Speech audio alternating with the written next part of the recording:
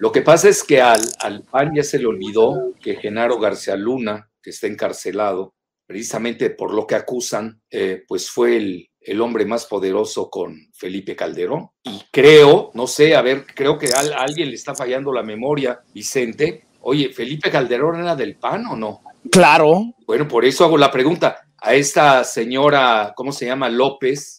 Eh, a ellas no le dicen López, a Andrés Manuel le dicen López, a a Dan Augusto le dicen López en forma despectiva, y nosotros, yo no creo que si le digo López, ¿cómo se llama esta senadora? Sea despectivo. Kenia López. Kenia, bueno, fíjate, si fuera eh, alguien así fuerte, le diría López, otra López, ¿no?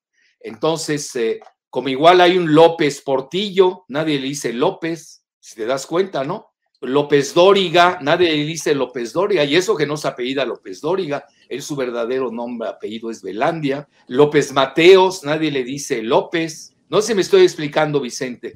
Claro, eh, a, a, habla de un clasismo, ¿no? Intrínseco al apellido López cuando viene de la izquierda o de la, de la otrora oposición mexicana. Eso también hay que saberlo señalar. Tú sabes que yo estudié neurolingüística y de inmediato detecto esas consideraciones. Entonces, eh, eh, eh, es muy importante, no, porque a veces dice uno, oye, pues resulta que Calderón no tuvo nada que ver con el narcotráfico, que no era panista, no era michoacano, y ya viste que el secretario de Gobernación, Adán Augusto, en Mero Morelia, creo que ahí nació también este Calderón, ¿no? Digo, a mí ya me está fallando la memoria, lo tengo que reconocer, ¿eh? No creo, que le, creo, creo, que, creo que le llaman el carnicero de Michoacán por algo. Bueno, él golpeaba, dícese, a sus padres, ¿eh? Cuando se emborrachaba, los golpeaba, no lo sé, eso se ha escrito, allá él y su conciencia. Él es muy violento, es una persona muy violenta. También dícese que le desprendió dos veces la retina a su entrecomillada esposa. Dícese, es una persona muy violenta, eh, Calderón, de muy mecha corta. Entonces, a lo que quiero llegar es de que en el mero Morelia, donde nace supuestamente Calderón, y donde también de donde son oriundos los, eh, los Cárdenas, ¿no? O estoy mal también.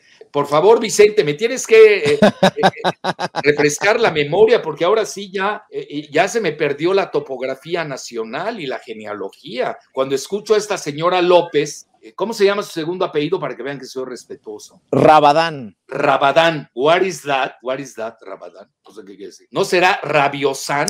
Porque verdaderamente se pasa de furibunda. Eh, Oye, doctor. La, la, representación legislativa. Tienen que hablar con mayor propiedad, tienen que educarse, civilizarse. Parece que soy una cueva ahí con cavernícolas cada vez que veo esas consideraciones. Es importante esto que estoy diciendo, ¿eh? porque desgraciadamente se ha eh, eh, se ha degradado ya el nivel de intercambio, todo se ha vuelto linchamiento, ese es el nivel en que estamos viviendo hoy en México. Y al final, mira, alguien va a ganar en el linchamiento y alguien va a perder, como todo, ¿no? Y luego, pues ya se reanuda el modus operandi o el modus vivendi. Oye, doctor, a mí me critican mucho por, por de reconocerte como creo que se debe de reconocer cuando haces señalamientos. Hace tiempo tú dijiste, esperen a que pase la contingencia por la pandemia, esperen a que se calme el tema del, del COVID-19 y van por Calderón.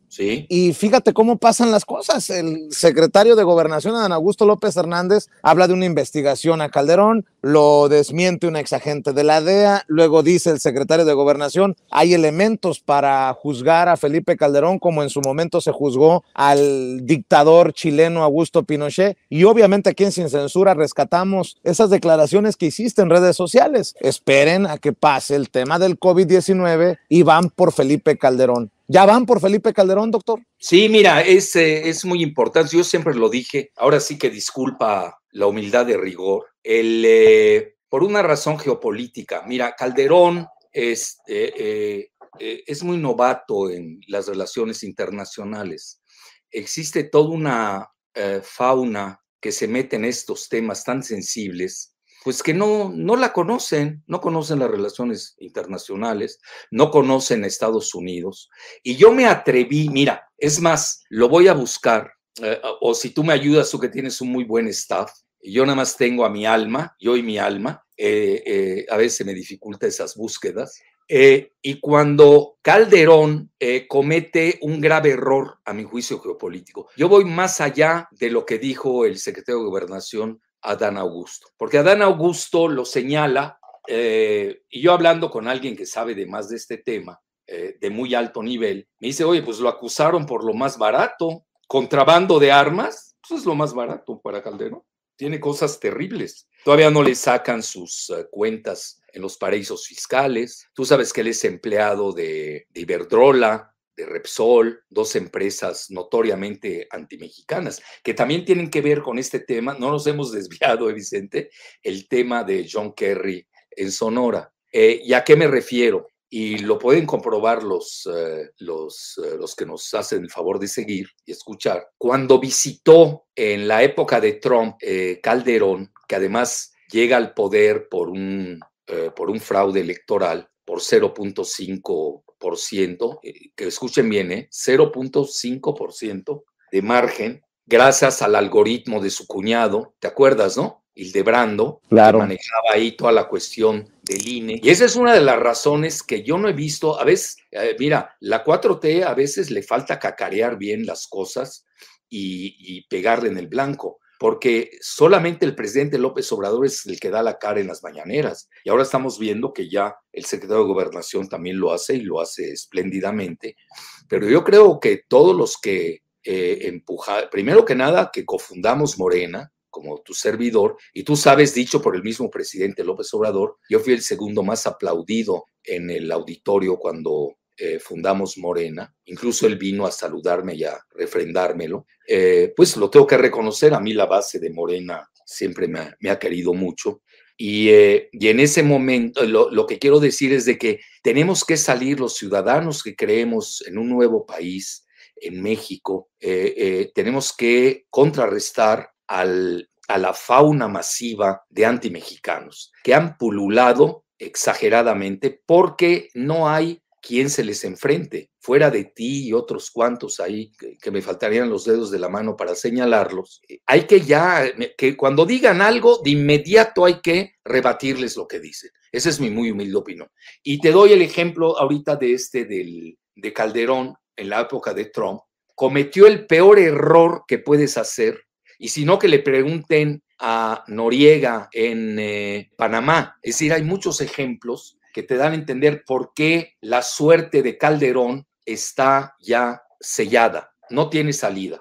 Quizás, mira, es tan, eh, es tan inestable emocionalmente que yo hasta me temo que no vaya a ser una locura, ¿eh? te lo digo abiertamente. Yo psiquiátricamente lo tengo bien detectado a, a Calderón, lo noto. Tú sabes que él es gran aliado de Enrique Krause Kleinborg, que es el que está detrás de todas esas nuevas intrigas en contra de la 4T, como se ha señalado extensamente. Eh, su alianza con el Golem, el Golem Margolis, eh, ya ves, salió en Netflix, igual que Loretito, toda, toda esa fauna, ¿no? Que ya ampliamente conocida. Él eh, también lo acaba de sacar Francisco Garfias, que él está coludido con, con Claudio X, que pues no es ningún secreto señalar que su padre pues es pues, déjame, déjame hacer un, paréntesis. déjame hacer un paréntesis para decirte, para preguntarte, por ejemplo, ya que estás hablando de Krause, ya que Cedillo y Calderón escupieron veneno desde España con Vargas Llosa, otro amigo de Krause, precisamente. Oye, Loretito entrevista a Krause y Krause se atreve a decir Fíjate, yo te voy a pedir tu opinión sobre esto antes de entrarle al tema del litio. El populismo hereda del fascismo, el culto de la personalidad, la movilización de las masas y las teorías conspiratorias. El populismo de hoy en México es una mala mezcla de los regímenes, los regímenes, perdón, autoritarios de China, Cuba y la Unión Soviética. el populismo de hoy es mutación. Escucha esto, doctor, escucha esto. El populismo de hoy es mutación del nazifascismo y el comunismo. Mira, desgraciadamente voy a hacer un programa especial sobre el populismo, nada más que tengo un viaje ahora en Puerta, Perú. Tengo un capítulo que hice en un libro sobre el populismo que lo hizo colectivo del Colegio Nacional, donde Krause mandó pedir que se boicoteara la edición, imagínate, eh, y habla de libertad de expresión, de, obviamente la libertad de expresión de él y no la ajena. El, eh, y precisamente ahí demuestro que es el populismo, pero bien, un estudio hecho y derecho. Es muy ignorante, mira, el mismo Obama, ¿te acuerdas que le dio una vapuleada que a, Peña Nieto cuando criticó el populismo y Obama, presidente de Estados Unidos, no hace mucho, bueno, hace siete años más o menos, eh, con, tenía de vicepresidenta Biden, cuando Peña habla o perora, para decir un término más suave, y ataca el populismo, que obviamente la nota se la dio y de Garay, es íntimo de Krause. Es decir, mira, hay que señalarlo bien. Krause eh, eh, dominó, la, tuvo la dictadura de la pseudocultura en México desde hace 40 años. Esta parte nadie la ha eh, estudiado y elaborado. Yo sí la conozco. Entonces se manejó a muchos regímenes, desde Televisa, así y deshacía. Y ahora no me quiero meter a su tema, nada más te digo que es muy ignorante. Eh, bueno, Loretito es la, el, se pasa de ignorante. No sé quién sea más ignorante, Loretito o Loretote. ¿Ya ves cómo le lamía los callos a Krause, Loretito? ¿Te diste cuenta en la entrevista? A mí me mandaron. Horroroso, horroroso. se le tiraba al suelo, así. Le lamía los callos. Pues es, siempre ha sido su empleado. Siempre ha sido su... Entonces, a lo que voy, mira, el, eh, y ahí cuando lo regaña Obama a Peña Nieto, le dice: Pues si ser populista es eh, estar a favor de la justicia social, a favor de la equidad, a favor de, pues, todas las luchas sociales y eh, la salud, la vivienda, etcétera, etcétera, a favor de la democracia. La democracia es la mayoría, esa es la mayoría del pueblo. Yo me acuerdo cuando vivía en Yucatán, teníamos una casa ahí, no yo, el, gobierno, que se llamaba la Casa del Pueblo, que la había fundado Carrillo Puerto. Es decir, eh, el, pueblo sí, pero llega, eh, fundaba uno de, era uno de los pilares de muchos países. Y cuando llega el neoliberalismo, pues obviamente arrasa con cualquier situación eh, eh, eh, que, tenía que ver con el pueblo o las poblaciones, porque realmente el, el, neoliberalismo globalista es eminentemente plutocrático, es de una minoría, de una élite financiera que va en contra del pueblo sobre el tema del populismo.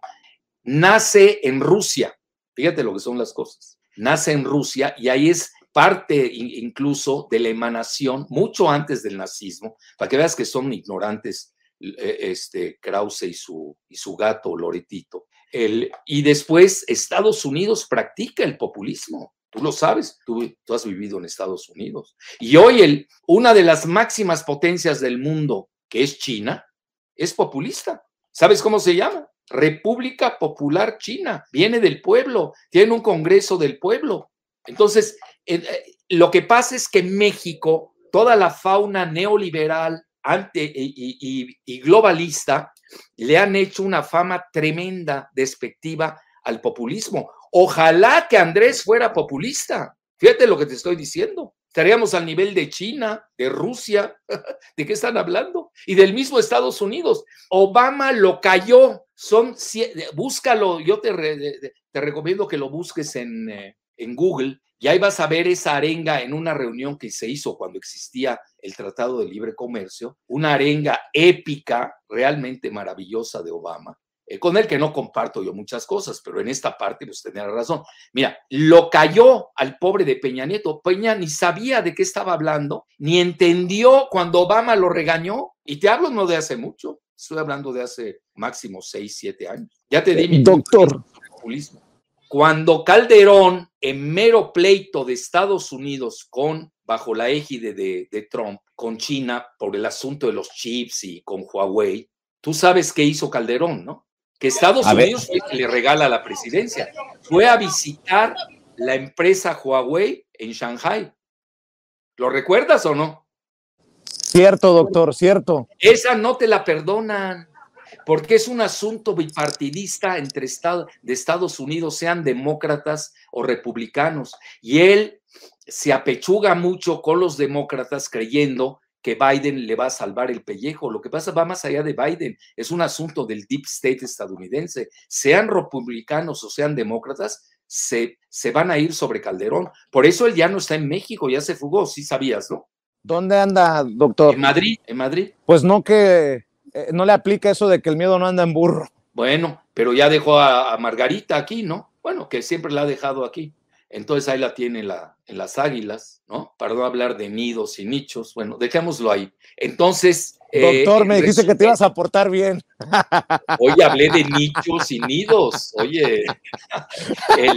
entonces, en resumen, en resumen, eh, Calderón es un hombre ya sentenciado. Eh, Estados Unidos no lo va a soltar, sean demócratas o republicanos, y no viene de, de México. Yo creo que aquí este Adán, Augusto, se portó muy decente con él es decir, Adán sabe más cosas. Oye, si yo las conozco, imagínense uno las conoce el secretario de Gobernación o el presidente de la República. Y no es, eh, créeme que no va a ser venganza de México, no hay necesidad ni de la 4T. Él traiciona a quienes lo hicieron en forma eh, ilegítima, lo entronizaron como presidente de México, que perdimos ahí todo un sexenio, y más con el siguiente sexenio que siguió, que fue el de Peña Nieto. Es decir, la 4T debió haber entrado, eh, llegamos tarde, 18 años, eh, Vicente. ¿Tú sabes qué es recuperar 18 años en la vida de México? Nos hubiéramos ahorrado mil cosas. Muchas alimañas. Totalmente. Entonces, eh, yo creo que hay que enfocar bien el asunto de Felipe Calderón.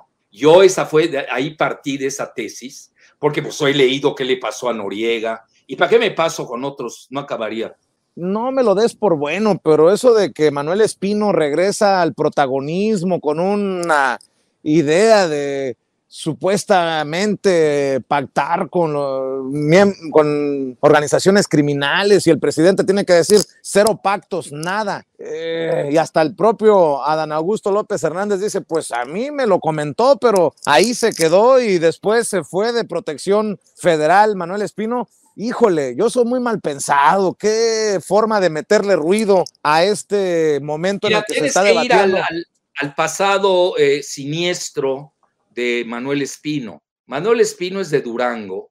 ¿Te acuerdas que él fue el presidente del PAN en la época de Felipe Calderón? Y fue quien operó en la campaña de Felipe Calderón y operó el fraude electoral. Y Andrés Manuel, que es muy vivo, como buen tabasqueño, lo de ya eh, traiciona Manuel Espino siendo panista, que no se nos olvide. Y hago un paréntesis, se lanzó ahora a la, tan no pertenece a la 4T, que se lanzó por la gubernatura de Durango. ¿Y sabes cuánto obtuvo?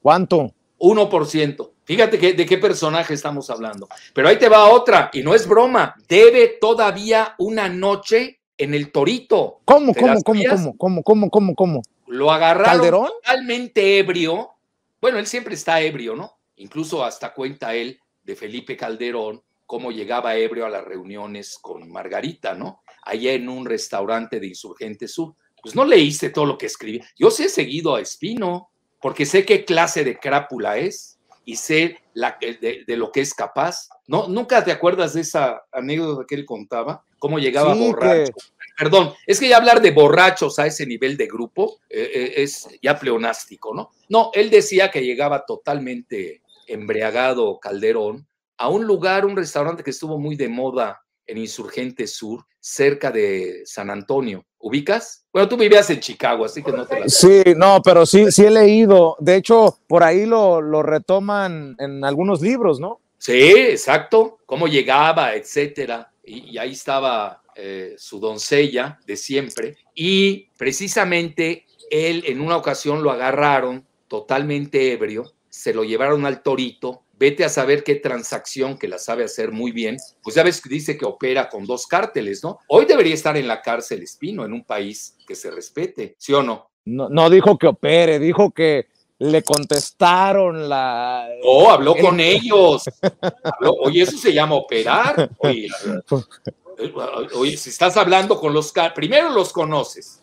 No, y eso que no quiero tocar su tema en Naucalpan y con su actual esposa o mujer, no sé cómo le quieras llamar, que fue la alcaldesa de, Naucalpan. ¿Te la sabes o no? No, ahorita eh, olvídate eso sí. Jerry y el litio. Yo sé más de espino que de litio.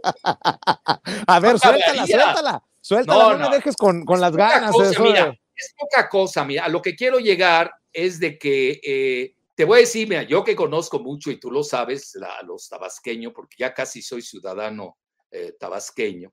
Ya ves que ya tengo varias nacionalidades en, en, la República, ¿no? Que me han dado ciudadanías. Ya estoy a punto de Sonora, por cierto. gracias al litio.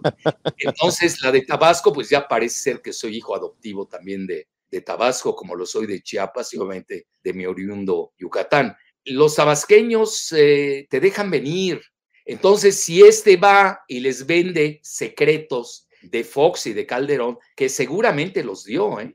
Y casi te apuesto que los dos cárteles a los que hizo mención, ¿eh? que conoce, así te lo apuesto sin ver como en el póker, han de pertenecer a de, de quien estamos hablando. Fíjate hasta dónde llego. Los de Calderón. Pues oye, ahí tienes a Genaro García Luna, ¿qué más quieres? Su segundo hombre fuerte. A ver, ¿cómo puede ser que García Luna, que está encarcelado en Estados Unidos, todavía no inician el juicio, ¿eh? Ahorita creo con la, el resultado de las elecciones en Estados Unidos el 8 de noviembre, se va a acelerar el juicio de García Luna. ¿eh? No, se le va a llover por todos lados a Calderón. Y ahí van a salir las cuentas de Loretito, sus lavados, eh, que ya sabes su departamento en Miami, todas sus propiedades, y anda compitiendo con alguien, ¿no? A ver quién tiene más propiedades en México, etcétera. Entonces, eh, para no hacer más, abundar más sobre esto, porque realmente ni vale la pena, pero sí hay que señalarlo, y yo en respeto a la pregunta que me hiciste, y lo dejan venir, y, y hoy creo que lo dio a entender el presidente, ¿no? Vicente, tú que lo sigues al pie de la letra, que dijo que le había llevado secretos de Fox y de Calderón, ¿no fue así? No bueno, lo dudo. Hoy en la mañanera lo dijo. Yo leí una nota, ¿eh? Yo leí una nota al respecto. Entonces, sí, entonces, oye, si van y te traen, sobre todo alguien de ese nivel que tenía este Espino, vete a saber qué pasó. Mira, porque eso es importante. Él maneja la campaña de Calderón, es presidente del PAN, sobre todo a esta López, ¿cómo se llama? Rabadán. ¿Rabadán? ¿Quién? Sí, López Rabadán. Kenia Ella, López Rabadán. Esta creo que no ha de saber que eh, el presidente del PAN fue Espino, ¿no? Que incluso decía, insultó hasta Andrés Manuel en esa ocasión, yo me acuerdo, decía, ¿cómo decía del peje? Decía, no se apendejen, algo así decía del peje, jugando con las palabras, con las palabras. Mm. Entonces, obviamente ese nivel saben todos los financiamientos espurios que maneja un partido. Ahora, si tú te das cuenta, cuando llega a la presidencia en forma espuria eh, Calderón, no le dan nada a Espino. Y si te das cuenta, anda saltando de un lado a otro y tampoco Andrés Manuel le dio algún puesto. Va, te so, eh, como dicen, te sopean, ¿no? Sí se dice así, te sopean, ¿no? Correcto, en Sonora sí. también se dice te sopean cuando te sacan la sopa. Exacto, lo, lo, sopearon, ya imagino a los dos tabasqueños sopeándose a este que se cree genio, pero nunca le han dado nada, si te das cuenta. Tan es así, ni le dieron la candidatura de la, de la 4T en Durango, por eso sacó el 1%. Estás hablando, yo creo, que de una de las figuras más crapulosas del sistema político mexicano y en particular del PAN. Oye, doctor. Si es que querías escuchar algo de mi opinión de Espino. Ya se me estaba yendo. No pagó su noche en el Torito Espino. Te lo pregunté, yo pensé que era Calderón. Dices que no, Espino. no, no, Espino debe una noche en el Torito. Todavía no la paga. Es más, lo puedes ¿Cuándo? Bueno, cuando lo agarraron, totalmente ebrio. Y obviamente negoció, pues él maneja bien los cárteles, ya vemos que se lleva bien con ellos. Alguna transacción hizo para que eh, lo dejaran salir y quedó endeudado con esa noche en el Torito. Por lo pronto, doctor, pues yo te agradezco siempre tu generosidad y yo aquí, al pie del cañón. Bueno, gracias y mucha suerte, encantado.